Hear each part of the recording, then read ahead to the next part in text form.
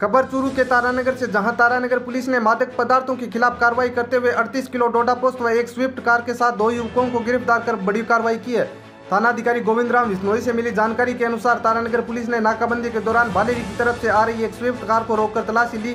तलाशी के दौरान कार में 38 किलोग्राम डोडा पोस्ट मिले। पुलिस ने डोडा पोस्ट जब्त कर दो युवकों को कार सहित गिरफ़्तार किया है।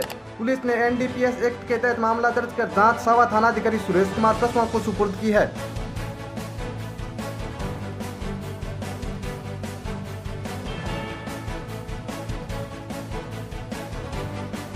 श्रीमान एसपी साहब के निर्देशानुसार ऑपरेशन प्रहार के तहत कल नाकाबंदी की जा रही थी और नाकाबंदी के दौरान एक स्विफ्ट गाड़ी आई जिसमें दो लड़के सवार थे।